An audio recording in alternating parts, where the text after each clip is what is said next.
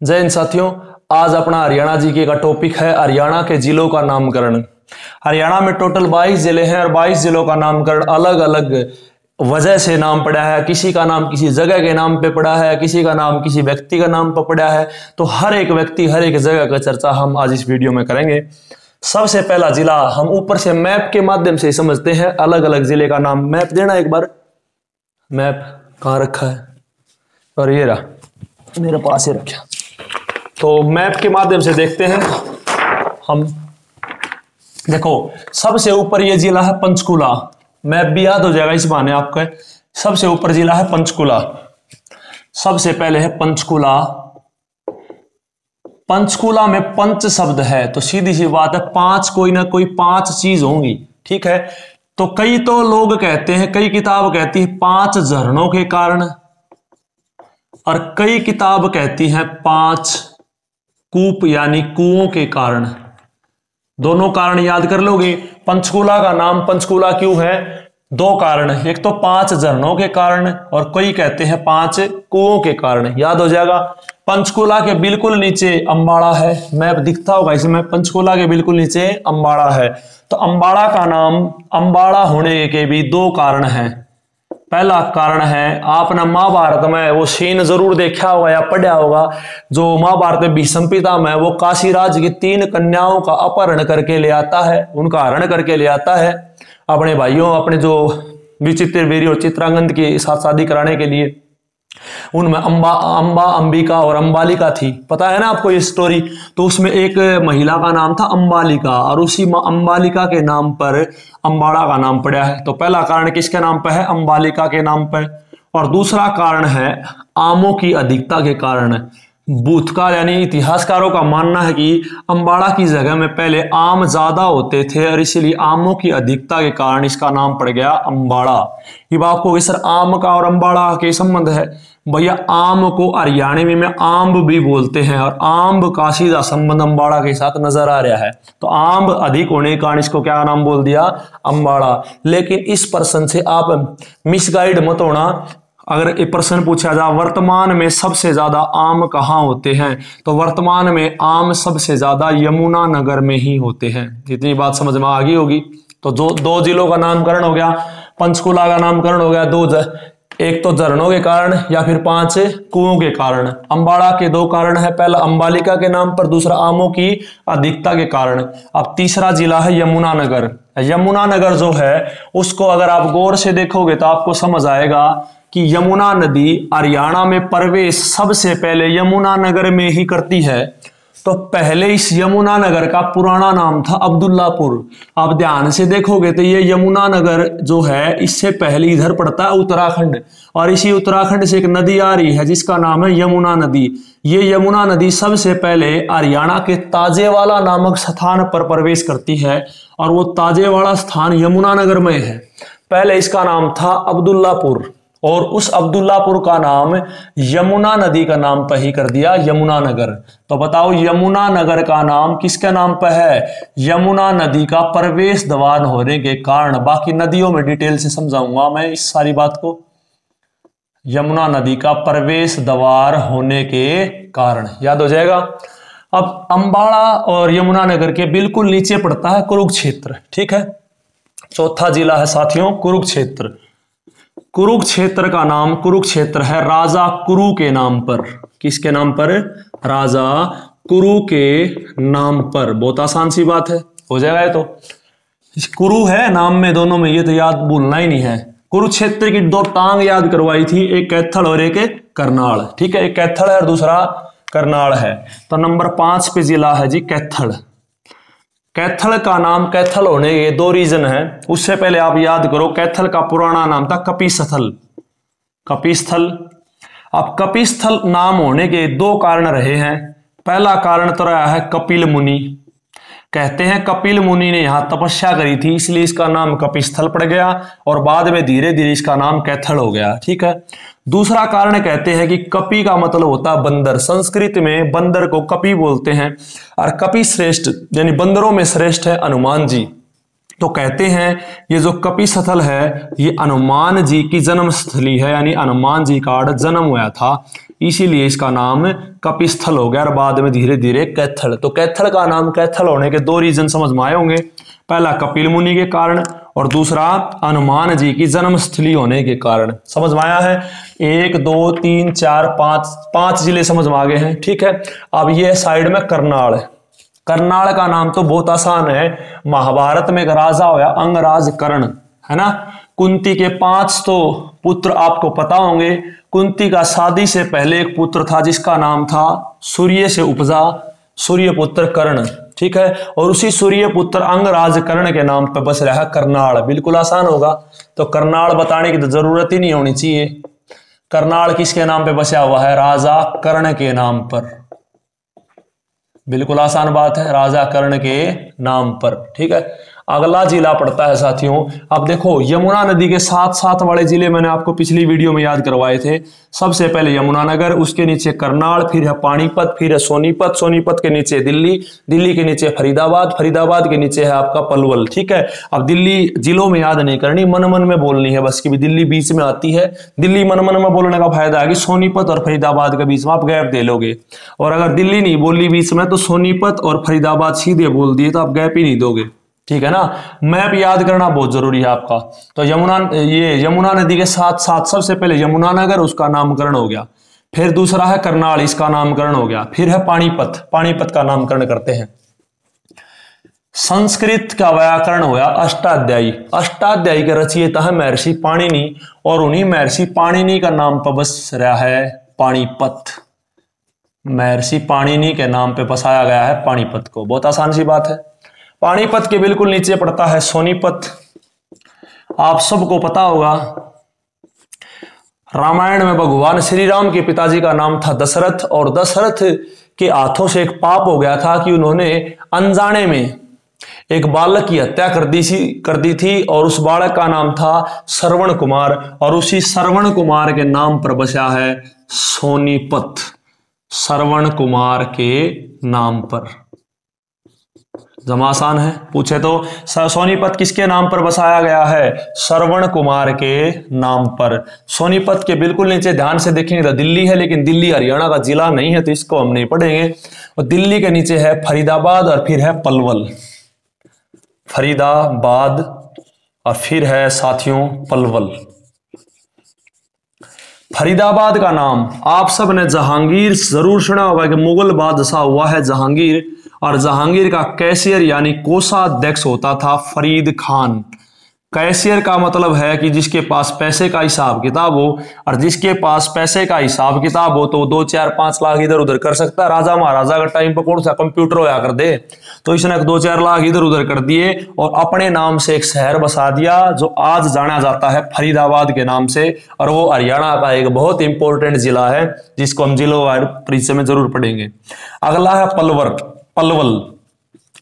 एक राक्षस हुआ जिसका नाम था पलम्बासुर पलम्बासुर की राजधानी थी जिसका नाम था अपलबा। अपलबा। या अपलवा। और इसी अपलवा अपलवा का धीरे धीरे नाम बदल बदल के क्या हो गया? पलवल। तो सीधा कारण याद करो, पलवल का नाम पलवल होने का कारण पलम्बासुर राक्षस की राजधानी। तो इधर इधर वाले सारे के सारे ज़िले हो गए होंगे, ऊपर ऊपर वाले सारे हो गए होंगे, ठीक है जी? अब आता है कैथल करनाल के नीचे जींद। जींद पढ़ेंगे। जींद का नाम जींद पड़ा है, जयंती देवी का नाम पर अब जयंती देवी है साथियों, जीत की देवी। इसको जीत की देवी क्यों बोला गया है? आप सबको पता होगा, दुनिया का सबसे बड़ा युद्ध, यानी दुनिया का सबसे बड़ा विश्व युद्ध कहो। सबसे बड़ा विश्व युद्ध है महाभारत का युद्ध, और उस महाभारत के युद्ध में पूरे विश्व, पूरे ब्रह्मांड से सेनाएँ लड़ी थी। और उन सेनाओं में छोटी सेना थी पांडवों की, लेकिन पांडवों ने युद्ध से पहले पूजा करी, और पूजा करी उन्होंने एक देवी की, और वो देवी का नाम था जीत की देवी। किसकी देवी? जीत की देवी, और जीत की देवी को ही कहते हैं जयंती देवी। और इसी जयंती देवी के नाम पे बसाया गया साथियों जींद को। तो जींद बसने का कारण क्या है? जयंती देवी। समझ रहे हो? और इसी जयंती देवी के कारण इसका नाम कहा गया है जयंती नगरी। तो सिंपल पर्सन क्या बनेगा? जींद का नाम जींद जींद का नाम जींद क्यों पड़ा है? जयंती देवी के कारण या फिर जीत की देवी के कारण? यहाँ तक आगे हैं। जींद का नाम जींद क्यों है? फिर इस तरफ़ चलते हैं। ईसार, फतेहबाद, सिरसा की साइड ठीक है? ईसार ईसार क्यों कहते हैं? फतेहबाद को फतेहबाद क्यों कहते हैं? तो ईसार से पहले एक बार आपको फतेहबाद पढ़ना पड़ेगा। फतेहबाद हम पढ़ेंगे, एक बार चल पढ़ते हैं हम। घटना है तेरह सौ इक्यावन बावन की।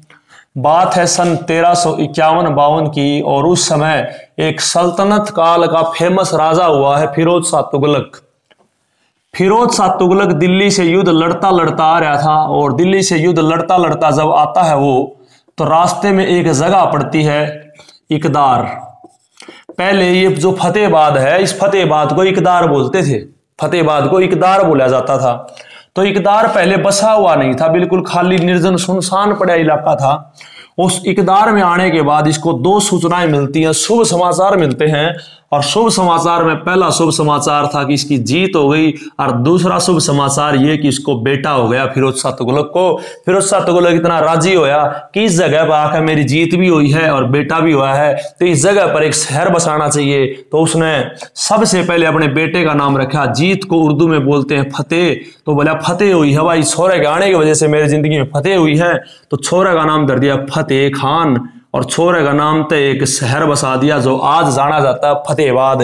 यानी इस इकदार की किस्मत चमक गई और इस इकदार को फतेह खां के नाम पे बसा दिया गया और नाम रख दिया गया फतेहबाद। तो फतेहबाद का नाम किसका नाम पर है? फिरोज शाह तुगलक के बेटे, फिरोज फिरोज शाह तुगलक के बेटे फतेह खां के नाम पर। ठीक है, इतनी बात याद होगी? अब ये फिरोज शाह तुगलक जो है, ये बड़ा शौकीन आदमी था। फिरोज शाह तुगलक ने नहरें बनवाने का बहुत शौक था तो इसलिए नहरों का निर्माता फिरोज शाह तुगलक इसको महल या फिर हवेली बनाने का शौक था तो हवेलियों का निर्माता भी फिरोज शाह तुगलक इसने सबसे ज़्यादा महल या हवेली बनवाई है फतेहबाद में, इसीलिए हवेलियों का शहर कहा जाता है फिरोज शाह हवेलियों का शहर कहा जाता है फतेहबाद को, और हवेलियों का निर्माता कहा जाता है फिरोज शाह तुगलक को। बहुत आसान सी बात है, ठीक है? और इसने गुजरी महल बनवाया, क्या बनवाया, वो बाद की बात है, आप इस टॉपिक में पिछड़ पिछड़ नहीं करांगे, ठीक है? अब बात आती तेरह सौ चौवन की। तेरह सौ चौवन में आगे जाके ये किले का निर्माण करता है, ठीक है?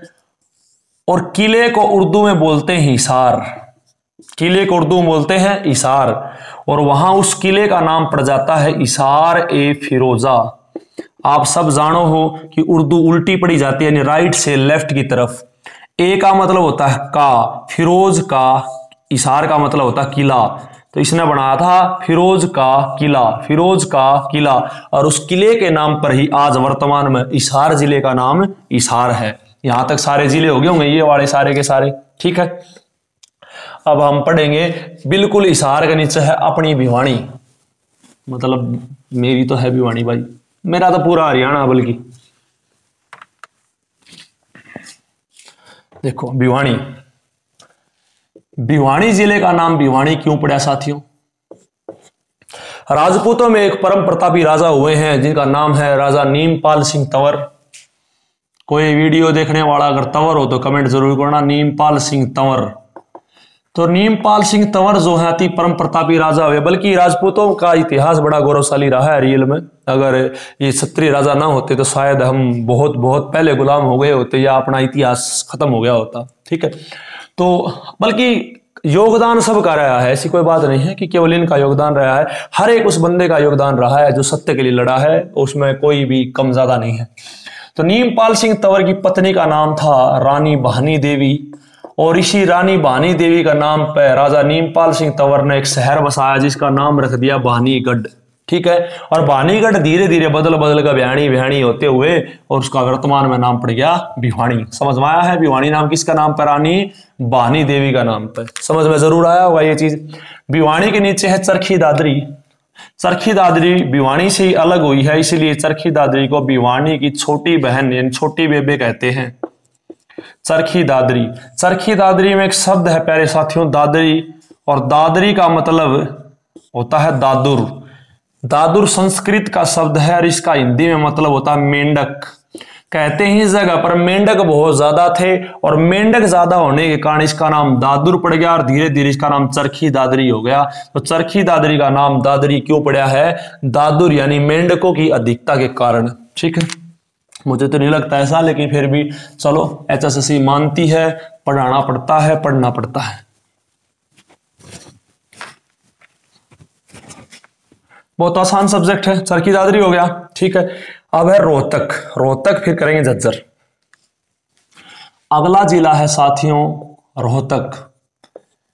इतिहास में आपने सुना होगा, सत्य का प्रतीक होया राजा हरिश्चंद्र और राजा हरिश्चंद्र की पत्नी का नाम था रानी तारावती। तो रानी तारावती और राजा हरिश्चंद्र का पुत्र हुआ है राजा रोहतास। और इस रोहतास या रोहितास का नाम पर ही बचा है। रोहतक बिल्कुल आसान है। रोहतक बचा है राजा, रोहतास के नाम पे ठीक है भैया? रोहतक से बिल्कुल नीचे है आपका जज्जर। जज्जर एक छज्जू नामक किसान था और छज्जू नामक किसान ने एक शहर बसाया जिसका नाम रख दिया छज्जू नगर। और यही छज्जू नगर धीरे बदलते बदलते जज्जर के नाम से जाना जाता है। बहुत आसान सी बात है, यहाँ तक समझ आ गया होगा।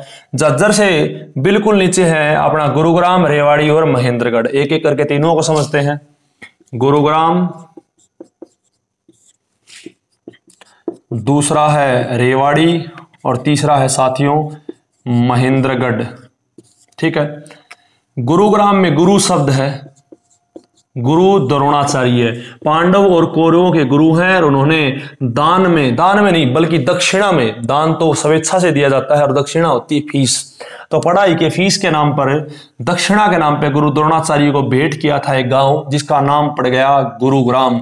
तो गुरु के नाम पे गाँव का नाम पड़ा है गुरुग्राम और गुरु जी का नाम क्या? गुरु द्रोणाचार्य। तो गुरुग्राम का नाम किसके नाम पे है? गुरु द्रोणाचार्य के नाम पर। ठीक है जी? अब रेवाड़ी। राजा रेवत की बहन का नाम था रेवती, और उन्होंने रेवती के नाम पर एक शहर बसाया था, रेवावाड़ी, जो धीरे धीरे करते करते बदल गया किसमें? रेवाड़ी में। तो आज जो रेवाड़ी है, वो किसके नाम पे है? कुमारी रेवती के नाम पर। अब बात है महेंद्रगढ़। पटियाला आज का दिन तो पंजाब में है, लेकिन आपको पता, मैं पैप्सू पढ़ाऊँगा, तब पता लगेगा कि जो आपका ये महेंद्रगढ़ है, एक इंडिया में अलग से राज्य होता था पेप्सू। बाद में उस पेप्सू को पंजाब का भाग बना दिया गया और जब हरियाणा अलग हुआ तो उस पेप्सू में एक जिला था महेंद्रगढ़ और एक जिला था संगरूर और संगरूर की तहसील थी जींद। तो एक तहसील आ गई अपने हिस्से और एक पेप्सू का जिला आ गया महेंद्रगढ़। वो बाद में आप आराम से तसल्ली से पढ़ेंगे पेप्सू के बारे में। फ़िलहाल पटियाला आपने ज़रूर पढ़ा होगा। तो पटियाला के राजा हुए हैं महेंद्र सिंह। और उसी महेंद्र सिंह का नाम पर बचा है महेंद्रगढ़। ठीक है भैया? महेंद्रगढ़ हो गया, रेवाड़ी हो गया, गुरुग्राम हो गया। फरीदाबाद, पलवल और मेवात। फरीदाबाद, पलवल भी हो गए। अब बच गया केवल और केवल मेवात। ठीक है? पलवल हो गया। हो गया पलवल। चलो जी। क्या बच गया? केवल और केवल मेवात। मेवात में एक शब्द छुपा है, मेव। और मेव जो है, मुस्लिमों में एक कैटेगरी है, मुस्लिमों में एक जाति होती है, मेव। तो मेव जाति के मुस्लिम सबसे ज़्यादा है मेवात में, और इन्हीं मेव जाति के मुसलमानों के कारण ही मेवात का नाम मेवात है। ठीक है? और मेवात में सबसे ज़्यादा मुस्लिम पाए जाते हैं, इसलिए इसको हरियाणा की मुस्लिम नगरी बोलते हैं। इतना साथियों, समझ में आया होगा? जिस भी किसी बाण भाई का समझ में ना आया हो, एक बार वीडियो ने दोबारा देख लेना, अवश्य समझ आएगा। कोई भी कमी लगे वीडियो की तो कमेंट करके बता दिया अगर कोई दिक्कत वाली बात नहीं है। आज के लिए इतना। जय हिंद, जय भारत।